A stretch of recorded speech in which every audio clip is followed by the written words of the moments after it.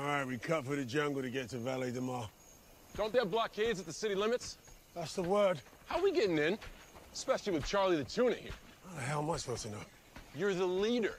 You're supposed to be decisive. And I've decided that you should eat a big bag of dicks. How's that? You're being facetious. But if this whole beach was completely covered in dicks, and somebody said I'd eat every dick until the beach was clean for liberty, I would say no problemo. Why would someone put penises all over the beach? Who knows why madmen do what they do?